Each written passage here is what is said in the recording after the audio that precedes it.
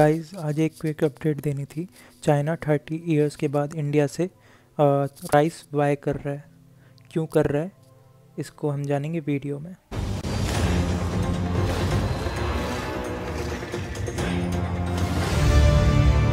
तो चलिए video start करते हैं।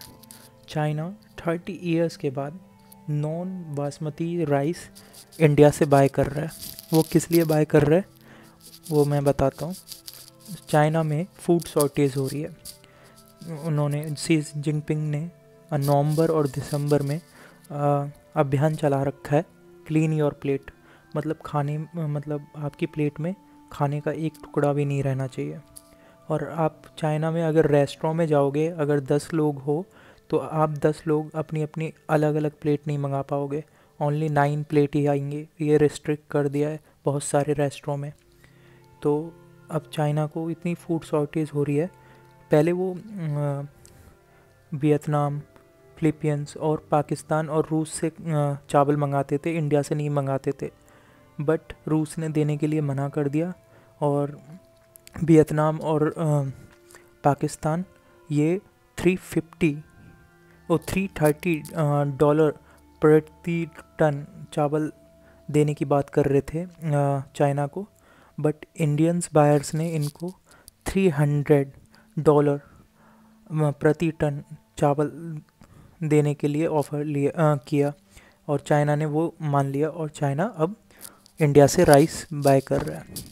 अब बहुत सारे लोग कहेंगे कि टेंशन हो रही है बॉर्डर पे इंडिया और चाइना की और बहुत दिनों से चल रही है, फिर भी इंडिया चावल क्यों दे रहा है? देखिए, जब अगर आपकी इकनॉमी बढ़ेगी तो आपके फॉरेन रिज़र्व बढ़ेंगे और लाइफ मतलब लाइफ अच्छी होगी अप, आपके पीपल की और सरकार के पास बहुत अच्छा पैसा आएगा जब एक्सपोर्ट करेंगे अपने सामान को। जब सरकार के पास पैसा आएगा, वो आर्मी पे लगाएगी और हमारी आर्मी और स्ट्रांग होगी और वेपन्स अच्छे आएँगे। तो मुझे तो नहीं लगता कि कुछ गलत कर रहे हैं। और राइस देने में देने को मतलब चाइना को आप अपनी आ, क्या सोचते हो? वो कमेंट में बताना मुझे कि आ, इंडिया ठीक कर रहा है? चाइना को राइस देना के लिए या नहीं?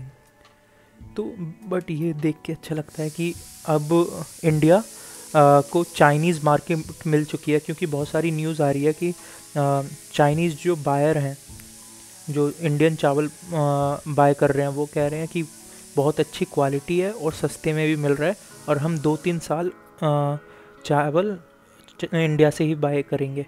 और देखिए चाइना की मार्केट भी बहुत बड़ी है।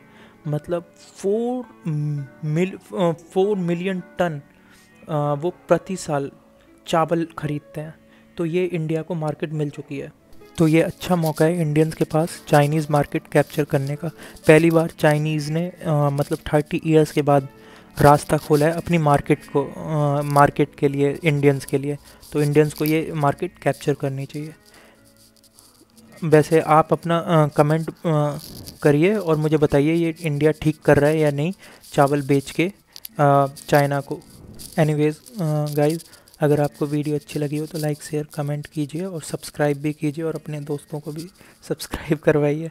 एनीवेज कल मिलते हैं। Have a nice day